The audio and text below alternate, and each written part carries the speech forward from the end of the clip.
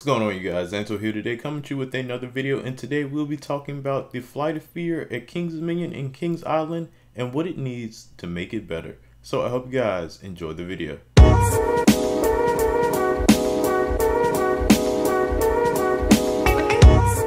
So a quick history about this ride. It first opened in 1996 as the first coaster to feature a linear induction motor launch. It opened, as I said in the intro, at Kings Dominion and Kings Island. The only real differences between these two coasters from these parks would be that it's just the thematic elements like the line and whatnot is just slightly different. But essentially they are the same ride and there's really no difference there. They still go 0 to 54 in 4 seconds. It features four inversions as well as it's a height of 74 and they are both indoor launch roller coasters. Funny thing is I actually worked this ride basically every day uh, in 2015 if I'm right or 2016. That was my first job working at Kings Dominion which I absolutely love working the coasters. It was very fun and I had some fun times there. But as a lot of you know, maybe not some of the new people and new subscribers, I have a lights on video of this coaster of what it looked like on the inside and the outside. And uh, basically they found it because of how popular it got and it's still today the second most viewed video on the channel. So I am happy about that. It's actually over if I'm right, 50,000 now. So anyways, this coaster also used to have over the shoulder restraints. And as we talked about in my last video with Anaconda and its over the shoulder restraints, the problems that it can cause. So they actually changed that. They changed the restraint from the over the shoulder to lap bars. Now this was a plus and definitely a minus at the same time because still either way now it's very hard for people to get in this ride. Even if you're a skinnier person, it's still hard to get in this ride. I have a hard time myself. Um, it definitely doesn't have enough leg room. So one thing would definitely be to accommodate more space within the ride itself. That would be the first thing I'd say to make this ride better. And another thing would probably be for it to have more speed. Not so much on the launch part, but through this ride, most of you know who've ridden this ride, it tends to slow her down near the end and right before you hit the second part of the ride, there is a block brake before that.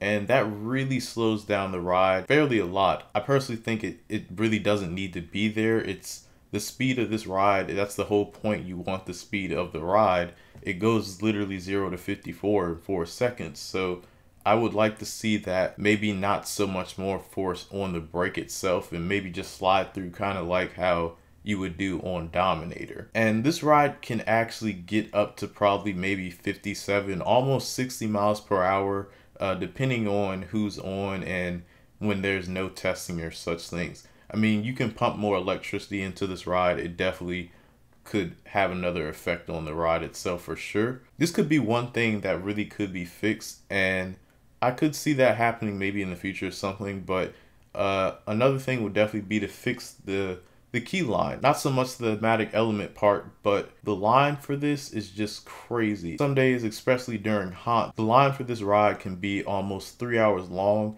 just like Volcano. Uh, they've changed Volcano's line various times, but it still doesn't really help or anything. I mean, I have Fast Lane, so those are the two rides where you really are glad that you had bought Fast Lane. I mean, the lines are just crazy. It's not a long enough ride to seem like you would want to wait that long, in my opinion. It's just not one of those rides for me. The lighting inside the lines and the entrance to it is not very well either. I think they just need to replace light bulbs. Uh, it's they want to add more effect on the ride, but you really can't see anything, uh, especially in some parts. I think it's kind of a safety hazard if you really think about it because if someone does get hurt, you really can't see anything. I mean, there's steps inside the line and whatnot, but that's one thing I think they could really work on for this ride. Overall, though, I think those are what really could make this ride better, and you would see a big change and difference in the ride itself. You get more people through, and it just would be way easier. So to accommodate more people, to allow larger people and as well maybe make the train longer to fit more people on the ride itself for more cycles to make it faster. So all those three things would help so much. It would cut times down very quick and that's one of the things about this ride. they take forever during their cycles. Even when I was working there, it was almost five minutes just for everything to happen. And that's one of the reasons why the line is so long, is because they take forever during the cycles from working it. And it seems like there's definitely a better way. They just don't want to do it. Another thing is that they don't have an automated spiel as well.